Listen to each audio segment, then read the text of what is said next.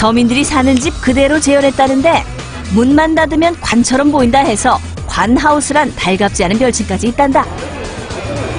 6년 전에 비해서 인구가 100만 명 가까이 늘어나 더욱 심각해진 주거 상황.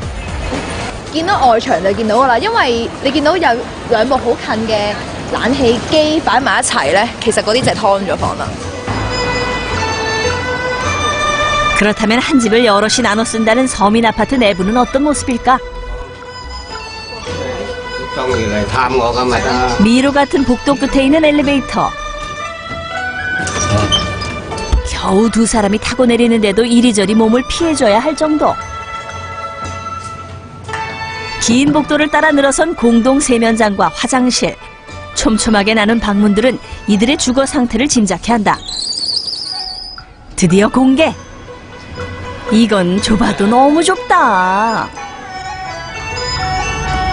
이래봬도 집값은 만만치 않은 수준 자랑한다는데. 여친 3박 3장. 없는 살림에 공간이 좁다 보니 계절에 상관없는 짐이 여기저기 나와 있기 일쑤 이라 이라 예빠 령바 쌈바 음이 핀핀이 반나게. 누울 자리 빼고는 집 전체가 수납 공간으로 활용되고 있는 셈이다. 한편 오랫동안 좁은 곳에 살면서 터득하게 된 생활의 지혜도 있다는데. 이거 녹초이, 이거 집안.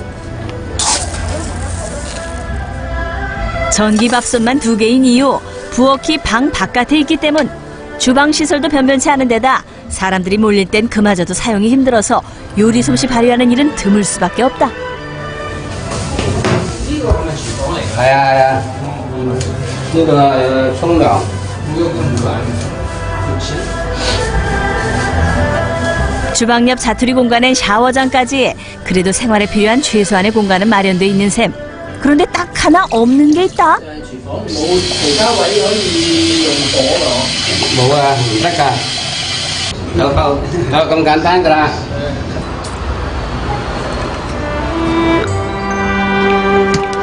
사정이 이러니 식사도 하루에 한 끼 초간단식으로 먹는 것은 기본이요. 집세를 내고 가벼워질 주머니 사정 걱정에 밥 대신 먹을 통조림 준비는 필수. 조사에 따르면 약 800만 명의 홍콩 인구 중 130만여 명이 주거 빈곤에 시달리고 있단다. 초고가 임대료에 시달리는 게 어디 아파트뿐이랴. 입소문 꽤나 났다는 홍콩의 한국 분식집. 문전성시 대박 행진 중인데.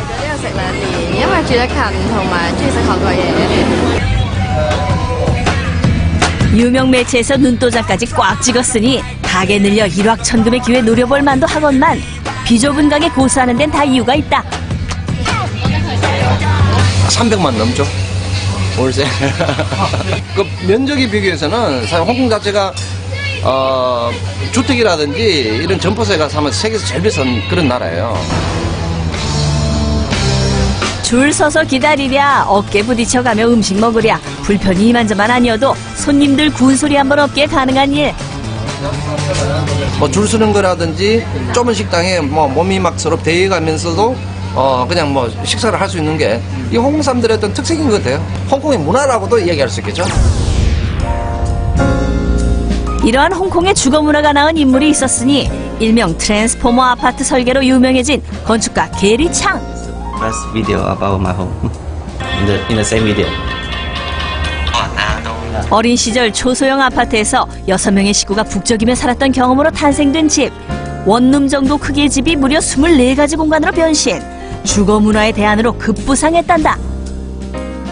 People always want to still live in city center, so the place tends to get smaller and smaller. I, I think uh, people's home these days are getting is shrinking. Uh, shrinking, on the other hand, doesn't mean that it's cheaper. It's actually more and more expensive. 덕분에 최근 시작된 변화.